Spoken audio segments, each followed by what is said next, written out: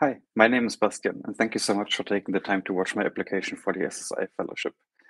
My academic background is in bioinformatics. In 2018, I finished a PhD in it at the University of Frankfurt, followed by becoming a visiting scholar at the Lawrence Berkeley National Laboratory in California, where I joined the bioinformatics open source project lab of Suzanna Lewis and Chris Mungall. In 2019, I started to lead the peer-produced research lab at the Center for Research Interdisciplinarity, which is part of INSERM, which is the French NIH equivalent, and the University of Paris, where I am still today.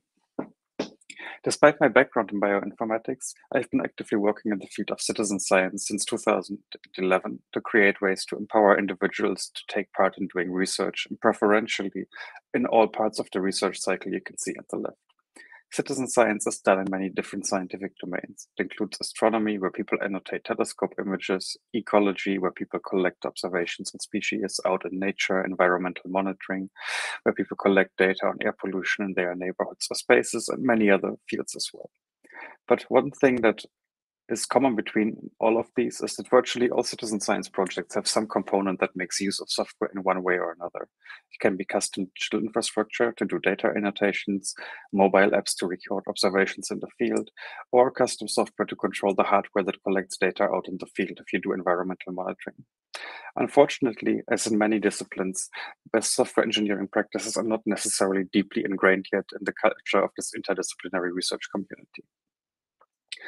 I personally have been working on various citizen science projects that make heavy use of software to enable these over the past years. In 2011, while I was doing my master's degree, I've launched OpenSNP together with a friend, which is a platform that enables people to share their own genetic data from 23andMe and other companies into the public domain alongside their phenotypic annotations like hair color, eye color, but also different medical conditions. Since then, it has grown to be the largest open database for this kind of data, with over 6,000 data sets to date, and it still keeps growing. Since 2017, I've been working on Open Humans, which provides a digital infrastructure to enable citizen science projects around using personal data, which can be wearables, medical devices, geolocation, or whatever else data people have. And it handles data importing, data sharing mechanisms, as well as digital consenting, both for the academic use and for patient-led or individual community-led research projects. An example of such a community-led project is Quantified Flu, which we did together with our community of citizen scientists last year during the pandemic, which is a new digital tool for people to collect data on their symptoms of infection alongside the wearable data. What all of these projects have in common is that they are open source and developed not only openly, but in co-creation practices with practitioners, which are both academic researchers and the citizen scientists that are supposed to use them to create better, more appropriate infrastructure. Beyond this very software centric and development side, I'm also very active in community organizing, mentoring, and teaching. Since 2018, I'm on the board of the Open Bioinformatics Foundation, where I organize yearly conferences on open source tools and open science practices at large in the field of bioinformatics. I've also been an active mentor in the open leadership program of the former Mozilla Science Lab while it was still existing and afterwards to support and give advice to various projects in implementing best open source development and community building practices.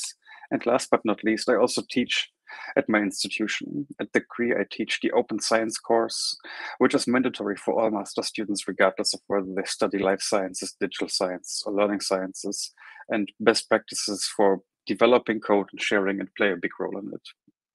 So, what are my plans for the fellowship? I have two main aspects to it. First, I want to organize workshops and roundtable discussions about better software practices at upcoming international citizen science conferences, both in person but also remote ones. 2022 will be a meeting rich year in citizen science. The European Citizen Science Association, the biggest citizen science association in Europe, is organizing a biannual meeting again next year, and the Global Citizen Science Association is as well. Furthermore, I've already submitted some workshop proposals to the Engaging Citizen Science Conference, which will happen next year at Aarhus University in Denmark.